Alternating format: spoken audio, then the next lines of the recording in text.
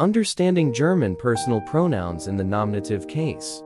Welcome to our German learning video series. In the previous lesson, we covered basic sentence structures.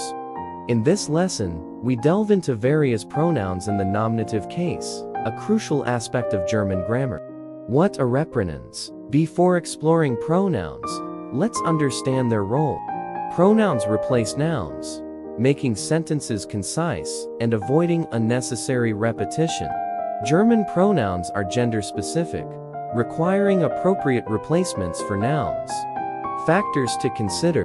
When using personal pronouns, consider the person first, second, or third, whether they are singular or plural, and their gender. Pronouns are not limited to people. They also apply to things. First person pronouns. In the singular, use ich, and in plural, use wir. For example, ich wohne in New York, I live in New York. Wir wohnen in New York, we live in New York. Second person pronouns.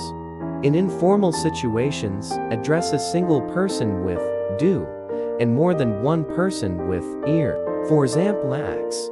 Vote einmal Max. Vote once. Julia und Peter.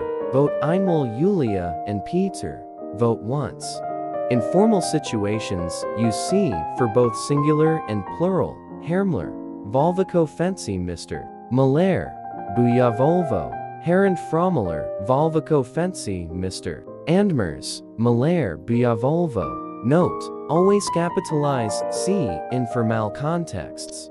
Third person pronoun. Third person pronouncedenden, er, for masculine.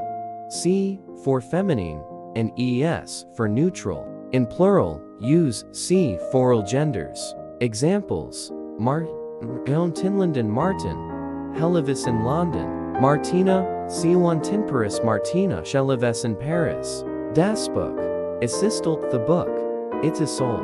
Summary, Tosama, personnel pronouncing second, or third person, singular or plural. Quick reminders, first person, singular, ich, plural, wir, second person, informal, singular, do, plural, ear, formal, singular, see, plural, see, always capital Ixen, third person, singular, masculine or feminine, see, neutral, es, plural, see. Remember Thesauric C. For addition aspirator, explorio video in this Thesakrint. Enjoy your German legend.